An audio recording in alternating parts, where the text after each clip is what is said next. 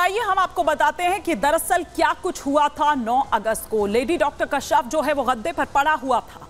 महिला डॉक्टर की दोनों आँखों से खून बह रहा था। आप सोचिए कि किस तरह की दरिंदगी उसके साथ हुई। प्राइवेट पार्ट और चेहरे पर खून के निशान थे। गंभीर चोटों के निशान थे। होंठ हो, गर्दन हो, पेट हो, हाथों में चोट के निशान थे। लेडी डॉक्टर अस्पताल में नाइट शिफ्ट में थी और दो बजे जब उसकी शिफ्ट खत्म होती है तो वो उस हॉल में चली जाती है। एक सेमिनार हॉल था, क्योंकि इससे पहले भी वो लोग बता रहे थे कि इस तरह की कोई फैसिलिटी नहीं होती है। तो दो बजे रात को जब उसकी शिफ्ट ओवर हुई तो वो चली जाती है उस हॉल में और वहाँ जाकर वो आराम करती है। लेकिन वहाँ देखिए, ये दरिंदा जो किसी को देखने के लिए आया था, अपना कोई नियरेस्ट डियरेस्ट जो भी रहा होगा परिवारजन, उसको देखने के लिए आया था, लेकिन उसकी क्या मनशा थी, किस तरह के उसके उसके विचार थे और वो जैसे ही उस महिला डॉक्टर को वहाँ पर जाते हुए देखता है, वो भी उसके पीछे पीछे चला जाता है। लेकिन उसका असर किस तरह से देखने को मिल रहा है, ये इन चार तस्वीरों के ज़रिए हम आपको दिखा रहे हैं। यहाँ पर दिल्ली से लेकर लखनऊ तक, कोलकाता से लेकर पटना तक किस तरह से असर देखने को मिल रहा है, आक्रोशित हैं जो तमाम डॉक्टर्स हैं स्पेशली अगर हम यहाँ पर महिला डॉक्टर्स की बात की जाए, वो ट्रेनिंग डॉक्टर्स जो सुरक्षा को लेकर सवाल यहाँ पर उठा रहे हैं और ये कह रहे हैं कि उनकी सुरक्षा का क्या ऐसा एक प्रोटोकॉल बनाया जाना चाहिए। वो सेफ्टी की मांग करते हुए यहाँ पर नज़र आए। साथ ही ये भी कि जब उनकी शिफ्ट हो जा ओवर हो जाती है तो फिर उसके बाद उनके पास कोई ऐसी फैसिलिटी नहीं होती है। तो उन्हें वहीं पर ही आराम करना होता है। तो वो तमाम चीज़ों को बताते हुए यहाँ पर नज़र आते हैं। लेकिन क्या क्या मांग और इसके अलावा है? आइए फटाफट से उस पर भी हम नज़र डाल लेते हैं। कोलकाता दरिंदगी केस की सीबीआई जाँच हो, ये साफ़ तौर पर ये जो ट्रेनी डॉक्टर्स हैं, वो कहते हुए नज़र आए। दूसरी मांग उनकी ये कि पीड़ित के परिवार को उचित मुआवजा दिया जाना चाहिए। तीसरी जो बड़ी मांग थी, वो ये कि जाँच की जानकारी रोज़ाना साझा होनी चाहिए। क्या कुछ खुलासे होते हैं? जिसके लिए ममता बनर्जी भी कह रही थी, रविवार तक का वक्त दिया गया। चौथी मांग जो है, वो ये कि डॉक्टर्स की सुरक्षा सुनिश्चित की जाए। और एक सुर में दिल्ली से लेकर चाहे हम लखनऊ तक बात करें, और कोलकाता से लेकर चाहे हम पटना तक बात करें, वो इसी तरह से ये गूंज सुनाई देती है। लेकिन आइए हम आपको ये सुनाते हैं कि जो एल अस्पताल के एमडी हैं, वो इस पूरे मामले को किस तरह से देख रहे हैं, वो इस पूरे मामले पर क्या कुछ कह रहे हैं?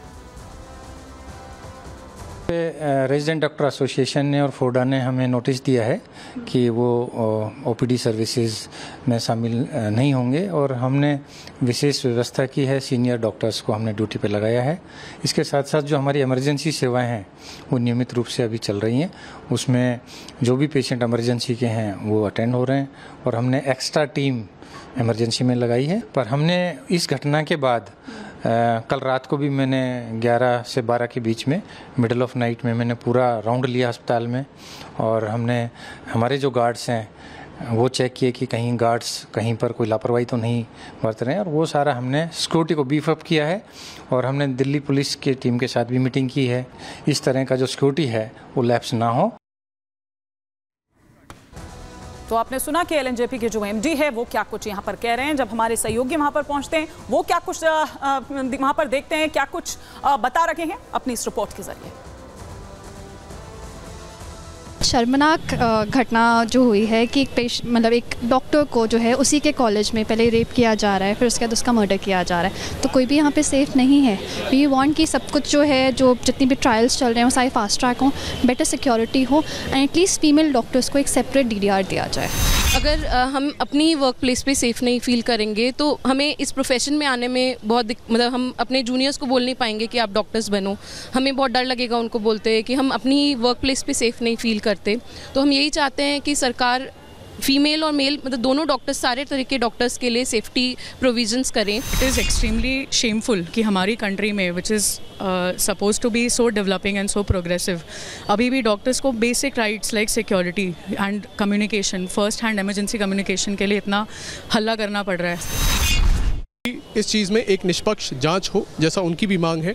और हमें लगता है कि इसमें कोई सेंट्रल एजेंसी आए जो आ, सरकार बोले सेंट्रल एजेंसी को आने से उस वजह से होगा। हमें पता है ममता बनर्जी ने जी इस चीज़ की सिफारिश करी है पर हम चाहते हैं कि वो जल्दी से जल्दी हो। वहाँ के प्रिंसिपल ने and even the police they did not show the support and they were like to they were trying to bury the fact कि भाई वहाँ पे कुछ हुआ है। सेकेंडली वी वॉन्ट कि वहाँ का जो प्रिंसिपल है वहाँ की जो एडमिनिस्ट्रेशन है एक्सेप्ट करे ये चीज़ हुई हैं and we want a proper inquiry of the CBI अगर गवर्नमेंट सपोर्ट शो करती है या फिर इस डायरेक्शन में आ, हमें लगता है कि इज़ देर पॉजिटिव रिस्पॉन्स तो we can think to call off the strike पर अभी तो सरकार की तरफ़ से आ, कुछ पॉजिटिव रिस्पॉन्स शो ही नहीं हुआ है। गवर्नमेंट हॉस्पिटल्स में मेजर इशू सिक्योरिटीज़ का ही हो रहा होता है, ठीक है? तो वो मेरे हिसाब से ज़्यादा होना ज़रूरी है। और it's not for female only it's for males also क्योंकि कभी भी कुछ भी रैम्पेंट हरकत हो जाती है, कोई भी आके डॉक्टर्स को अटैक भी कर जाता है, और फीमेल रेजिडेंट्स के साथ और इशू हो जाता है। तो सुना आपने कि क्या कुछ कह रहे हैं वो तमाम डॉक्टर्स यहाँ पर, और इसी पर और विस्तार से जानकारी हम लेते हैं, क्योंकि देखिए असर तो खास तौर पर अगर हम सुबह से ही देखें तो तमाम वो सर्विसेज़ जो हैं, वहाँ पर उसका असर दिखाई दिया। ओपीडी से लेकर तमाम ऑपरेशन थिएटर्स की अगर हम बात करें, उन सुविधाओं की बात करें, कोमल मेरे साथ जुड़ी हुई है, प्रियंका मेरे साथ जुड़ी हुई है, अंजलि मेरे साथ जुड़ी हुई है। सबसे पहले मैं प्रियंका का यहाँ पर रुख करती हूँ। प्रियंका, अगर आप तक मेरी आवाज़ पहुँच रही है तो। क्योंकि देखिए, ये जो कोलकाता से उठी आवाज़, वो जो गूंज है, वो पूरे देश भर में अब सुनाई दे रही है। लेकिन वहाँ अभी क्या हालात हैं? क्योंकि यहाँ का ये कोई पहला मामला नहीं है। शिकायतें इससे पहले भी हुई हैं, विवाद इससे पहले भी हुए हैं, लेकिन स्थिति जस की तस रही है। बिल्कुल देखिए हम उस जगह पर हैं जहाँ पर आपसे कुछ देर पहले प्रदर्शन हो रहा था और आप बता रही हैं इससे पहले संदेश खाली का ज़िक्र होता है। वहाँ पर भी महिलाओं के साथ ऐसी बर्बरता होती थी घरों के अंदर से नेता आते थे और महिलाओं को ले जाते थे। लेकिन यहाँ जो डॉक्टर के साथ हुआ है जैसे आप अपने शो में बता रही है कि धरती पर भगवान कहा जाता है बिल्कुल वही भगवान जो है मरीजों को ज़िंदगी दान करते हैं उनको बचाते हैं मुश्किल समय में। लेकिन लेकिन जिस तरीके से वो अपनी ज़िंदगी की सुरक्षा के लिए लगातार मांग उठा रहे हैं लगातार वहाँ धरने पर बैठ गई। ये बहुत ही हैरान करने वाली बात है अचंभित करती है। देखिए इन्हीं मोटी किताबों को पढ़कर वो लेडी डॉक्टर डॉक्टर बनी थी इतनी मेहनत से लगातार। लेकिन वो नाइट ड्यूटी भी कर रही थी और उस नाइट ड्यूटी के दरमियान कैसे उसे सेमिनार हॉल के भीतर पूरी तरीके से दरिंदगी की जाती है और फिर उसे मौत के घाट उतार दिया जाता है। बहुत ही शर्मनाक हैरान बिल्कुल शर्मनाक है बिल्कुल हैरान कर देने वाला है। प्रियंका आप बने रहिए मेरे साथ। जरा मैं कोमल का भी रुख करती हूँ। कुछ बिल्कुल बिल्कुल ऐसे ही कुछ ट्रेनिंग डॉक्टर्स के साथ इस वक्त कोमल वहाँ पर मौजूद हैं। कोमल, देखिए, ये मांग तो उन्होंने यहाँ पर रख ली है। कितना, अब क्या वो सुनी जाती है, किस तरह से? क्योंकि मैंने जैसे पहले भी कहा कि ये कोई पहला मामला नहीं है। इससे पहले भी इस तरह की शिकायतें आई हैं, लेकिन क्या कुछ हुआ उस मामले पर? बिल्कुल देखिए, इस पूरे मामले को लेकर के देखिए, इंसानियत को शर्मसार करने वाली पूरी वारदात है, लेकिन यहाँ पे डॉक्टर्स लगातार देखिए, सुबह से ही मांग कर रही है, न्याय की मांग कर रही है, लेकिन हमेशा इस तरह की तस्वीरें आती ही रहती है। क्या लग रहा है आप लोगों को न्याय मिल पाएगा? आक्रोश साफ़ तौर पर आप लोगों की आँखों में देखने को मिल रहा है, तख्तियाँ लेकर के हैं। लग रहा है न्याय मिलेगा?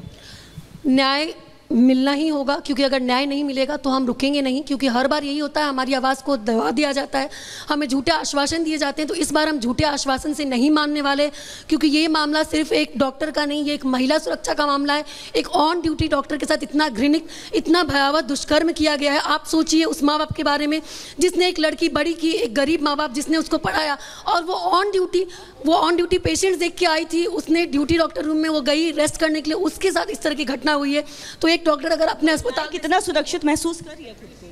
बिल्कुल सुरक्षित नहीं है ये। कहीं ना कहीं ये सोसाइटी का हम किस तरह की सोसाइटी में रह रहे हैं और कैसे दरिंदे लोग हैं जो एक लिटरली एक घर मतलब वो हमारा दूसरी घर की तरह है। एक मतलब जी बिल्कुल ठीक कहा कि वो सेकंड होम है।